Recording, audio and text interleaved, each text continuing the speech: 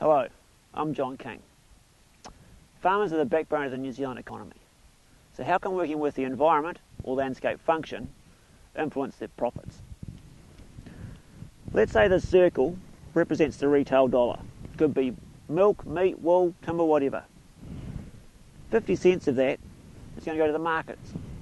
Okay, the people that handle the product from the farm gate to the customer. Of the 50 cents the farmer gets, 40 cents is going to go to their suppliers. So that's the fertiliser companies, bankers, contractors, that kind of thing. That means farmers get about 10 cents in the dollar. We live in a wonderful thing called a market economy. The problem with the market economy is that we never know we're in a surplus until when? Until it happens. And then agricultural research says the solution is very, very simple. All you farmers have got to do is produce a better quality product at a lower cost. If you're going to produce a better quality product at a lower cost, are you going to get a larger share of this pie? Yeah, I don't think so. But you've got a couple of options up your sleeve. The first thing you can do is utilise the environment, utilise what nature provides for free and reduce your production costs.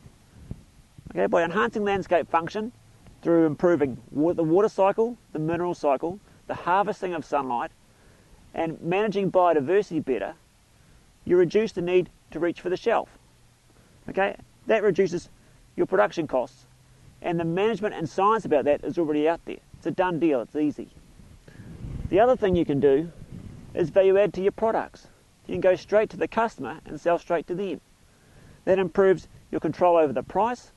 It means you can dump the middleman and you have a much better relationship with the customer. The great thing about enhancing landscape function over here is that you can take your experiences here and create a great marketing story over here about how you're improving the environment.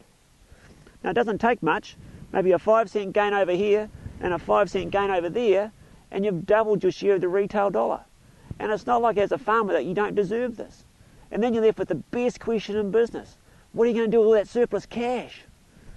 Now, although this sounds simple, it ain't that easy.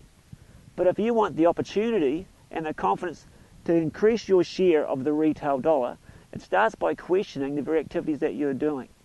It's only with that attitude that you'll be willing to learn how landscape function influences your bottom line. And investing in that skill is by far the most profitable investment that a farmer can make.